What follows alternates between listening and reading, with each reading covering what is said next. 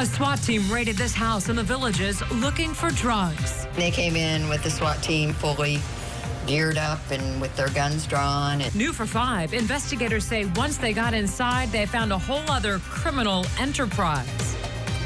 Sumter County deputies say that home was doubling as a chop shop for golf carts, which is the preferred transportation in the villages. Five people under arrest for it tonight. Channel 9's Mert Price spoke with homeowners who were awakened by the raid. And Mert, the neighbors told you they knew something bad was going on at the home, but the chop shop game came as a total surprise.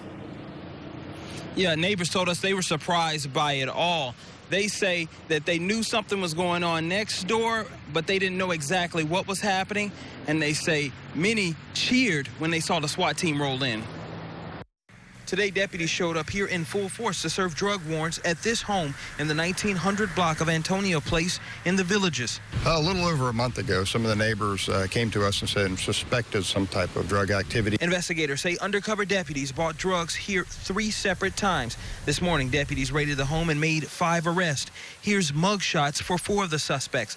Deputies also seized meth, marijuana, and drug paraphernalia. I'm just a little surprised that this is happening in the villages, but things like this are happening everywhere. While on the scene, investigators made another discovery. We actually found some golf cart parts as well. We have had some uh, golf carts have been stolen in the neighborhood within within the villages here, and we are trying to tie possibly these parts into some of the stolen vehicles. Deputies say some of the suspects arrested in the raid are also suspected of stealing golf carts. So along with being a drug house, they believe the house was also an illegal golf cart chop shop.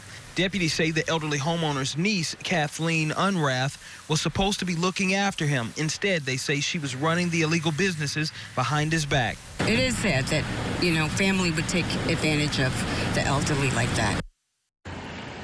Now, we learned that 21 golf carts were stolen in Sumter County and 22 in Marion County over the past few months. Officials say this case is still under investigation. We're live in the villages. Mert Price, Channel 9 Eyewitness News.